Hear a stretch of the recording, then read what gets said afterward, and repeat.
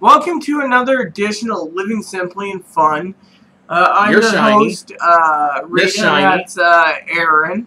yeah, I call you Miss Shiny today. So, we are going to actually be doing a return of sorts.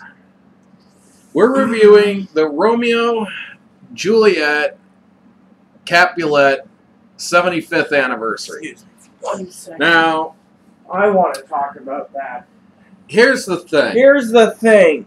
When I was talking to a guy to buy a box of uh, Capulets We were told these were a totally different blend.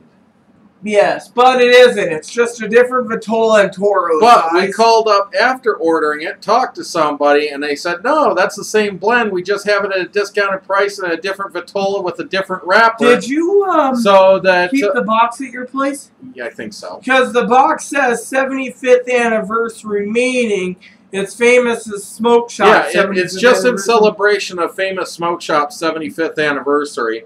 And it's just a special Vitola and band from Romeo Juliet Capulet. Exactly. or So- Montague.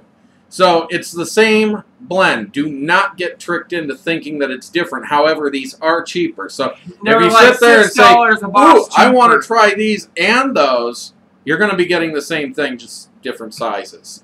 it's So a special limited edition Vitola and Toro size. we've That's all it decided to take a return to these. I believe this is the one that we got to try in Magnum, which was a six x sixty. Yes, and I was thinking of buying a Magnum 6x60. My birthday's next month, so I got a lot of discussions to So, figure out what I'm I going to be removed this section that says Capulet, 75th anniversary. In fact, I think the other band is a little nicer. However, I think with this one, the clear part is nicer on this. So, having a problem there. Yes, Do you I- need help? There you go. I think you got it, didn't you? No, it's glued on. Heat did it. Oh, okay, I got it. There you go. Let's move that back a bit, and there. So, in a way, this is just our second review of this. In Toro size, see? Creamy buttery is what I picked up. It's got some decent crunch to it. Uh, it's not too dry, not too squishy. It's squishier at the uh, f- uh, foot here, but it's okay. Th- this works. Um, Sorry about that, everyone. My email app's open, and so, um, you know, talking about It- email for a minute, uh, cigar related. Our cigar related video channel for uh, buying, uh, uh, you know, not buying cigars, but uh, having people contact us for suggestions, comments, whatever, Oh. on a private email. Well, the other day I thought we got a new email and it was like, oh, someone wants us to do something. Turns out it was some spam, spam, spam crap. any, anyways, I'd like to share the rest of the cigar with you, but uh, Rita's checking up other things. uh, spam crack basically about uh, uh, setting up a website again. So Yes. I put it in the spam folder So- finally. It's got some mild hay notes on this, and I did find that when I was cutting this, I don't know if it's my uh, the V cutter is getting a little dull or not, but it kind of tore on both of these. Uh, it could just be that the cigar is soft enough that it caught, because it seems to work better with a nice hard cigar. Um, but yeah, um, as for the smell, it's kind of light, light hay, and that's about the only thing. And if you can see, I can't see. How can I say anything if I can't see? Okay. You can see that you can see the seam there and some of the stems. Um, but it's a decent looking cigar. Uh, it's kind of a light, lightish brown. Uh, I do not have the specs on this because we already did the specs in our other video. So if you want to see the specs, go check out our original video for the Romeo y Julieta uh, House of Capulet. Um, because I just don't see any reason to keep going over the same info again and again. Um, I really don't know what you're doing. We're trying to do a video here. You could do that after or whatever. Sorry, I was checking. I know on- you're checking to see if it shipped and when it shipped and all that It stuff. got shipped. The thing says three business and days. I'm sitting on my knees here. This hurts. Three days select, so three business day delivery by the end of the day. So Yeah. more likely Monday or Monday. It'll be here next week. Mm, Yes. Well, I'm Just like mine will be here next week sometime. Yes. Well. In fact, they both probably shipped today. So, anyways, would you do your same thing? All that. Um, it's a sharp little cigar. Uh, I would say hay, earth notes. nice grass. sweetness on a dry puff with a little bitterness. I'm gonna have to sit Cho- down. uh, light chocolate, cocoa, floral tasting at the end. But I'll guarantee, since I smoked many of these, that what we're going to have is creamy butteriness in the flavor of said. Yeah, but we'll do it live. So I'm gonna go ahead and fire this up. I've been looking forward to smoking another one of these for quite a while. Um, but Rita wanted to try to save the review for when we're running out of reviews, and we're beginning to. We got I think three reviews left that aren't, you know, solos or whatever. And you got like three solos. I got like eight solos or something. So, uh, but He'll, I, he'll be doing his eight solos after uh, he gets more cigars next month, so we can actually get joint. Do 'em I'll do them just to make sure that they go through. We can always do an Aaron and a Rita version, which we've done in the past. Actually, I got five of the solos. Yeah, because you got the Reckoning, you got the two Perdomos, you've got uh, um, the uh, Maximus. Right away on this, I, I don't remember this in the past, but kind of a beefy steak-like flavor, uh, which is kind of nice. Never really had that in a cigar before.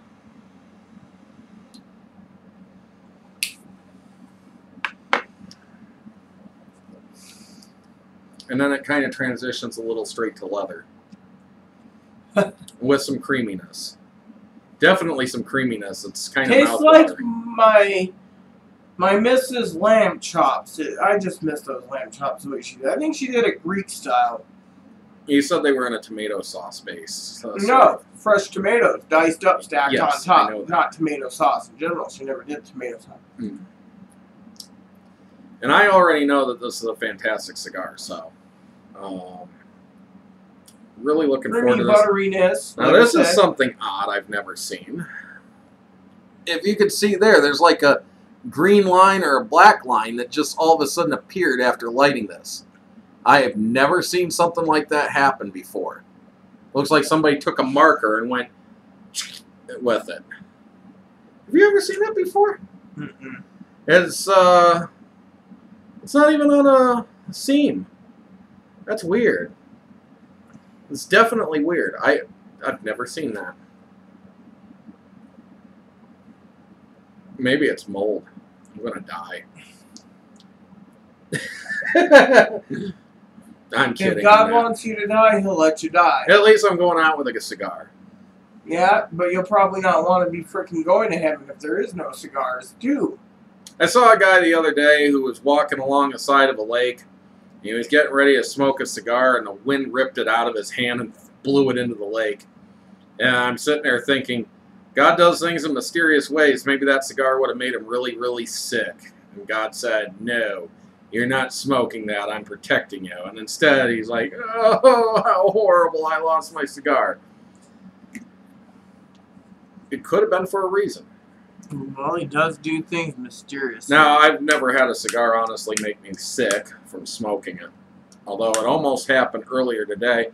Uh, if you saw my review, I'll give a brief update. The Esteban Carreras 10 Anos. I'm just finishing it up. I've got it to the nub point. In fact, here it is. And as I'm smoking it down on this side, I'm writing into the text on my uh, uh, on YouTube for the tags and all that, and I nearly vomited from the aftertaste in my mouth. Uh, I honestly got to say, or reword it, that the Carreras was not as good as I would have liked. It definitely.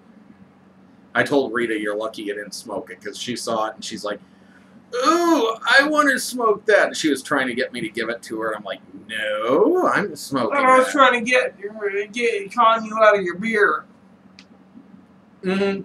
You're always trying to con me out of something, you con artist. Dude, boy, do you still have your beer? Mm-hmm. I won't drink it in front of you because I don't want you getting jealous of it. So I'm waiting to drink it one of these No, nights. one of these nights I'm going to his place. I got plenty of coke, and I'm going to be drinking some Wisers. You're finally gonna crack that after like 30 years of it being sitting in the bottle. I don't know. Look promising to me. Mm, this is nice and tasty. And I usually don't like Romeo and Juliet's, but when I had this, I put it above every other Romeo I have ever tried. The Capulet, in my opinion, was better than the Montague. Now, recently I had the Romeo Anejo, and this is the first Capulet I've had afterwards. But that Anejo was in my top three, right behind the Montague. In fact, it might have been a little higher than a Montague and a little lower than a Capulet, and I'll know for sure after this. But, you know, I'm kind of getting more into the RYJs now. My friend Josh told me that he got an RYJ the other day and he couldn't make it through it. He made it through like halfway before it started making him dizzy and nauseous. Uh, I don't know why. Uh, I've never had that happen from an RYJ, but I'm.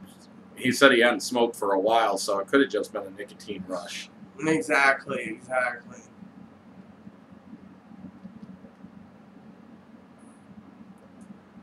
nice smoke output on this. Nice creamy flavors. Um, primary primary flavor is just a creaminess, and I like that.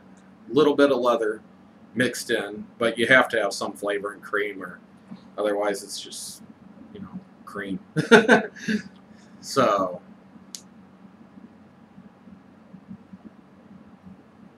I suppose we'll get into the halfway point of this, shall we?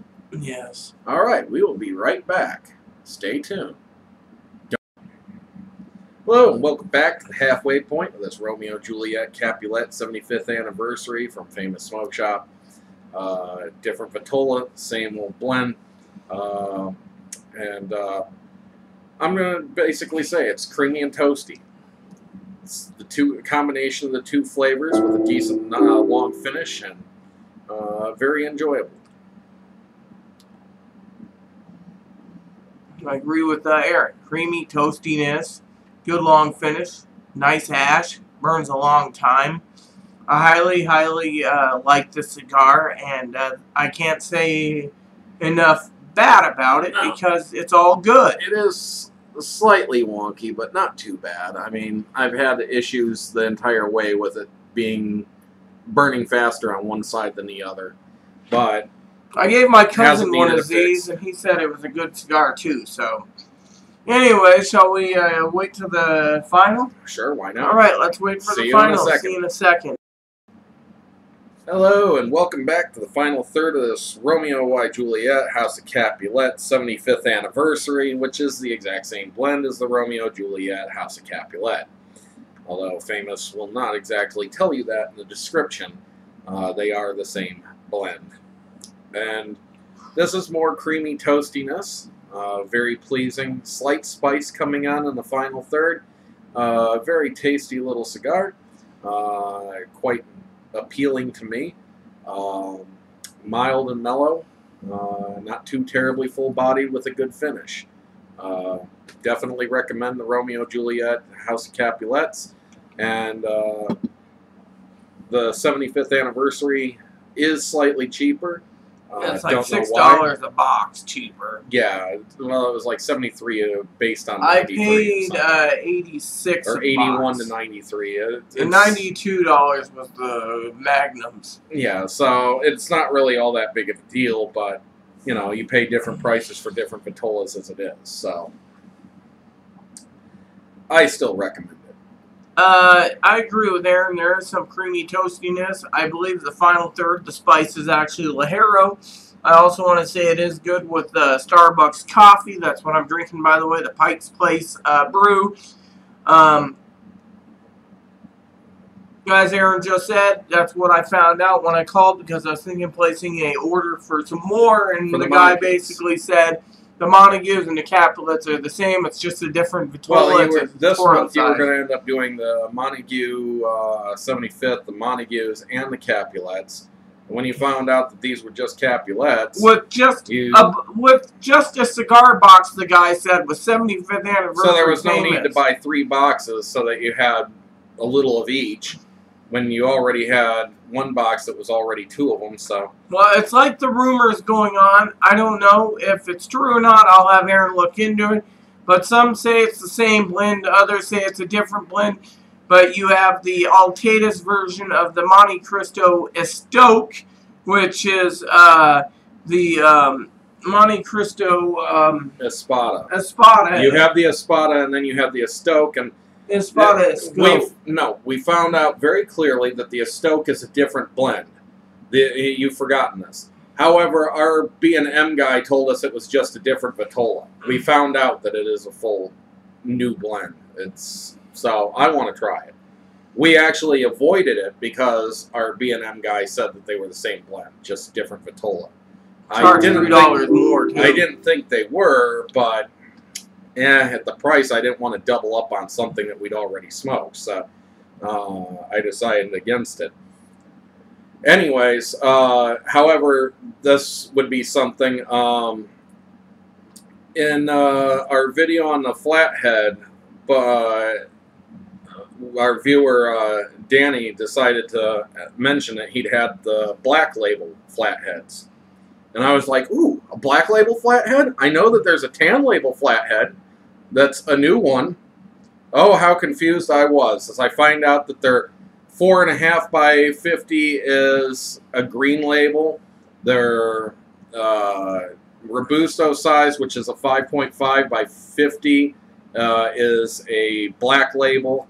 The Lancero, which is uh, like a 6.5 by 44 is a blue label, and then the 7x70 and 6x60 are both red label. Then I found out that there's the Steel Horse because I got talking to uh, Mike Crowley, uh, who ended up posting a comment about the Steel Horse, uh, the motorcycle one. um, I forgot uh, the ape hanger, and uh, he said there's some bigger ones, blah blah blah. And uh, I found out that the steel horse, uh, which is their new one, comes in four different colors as well. You have a tan label, which is the one that I noticed, and then there's the ape hanger. I think that's the tan one actually. Then you have a kind of teal colored label, a yellowish colored label, and then a red colored label.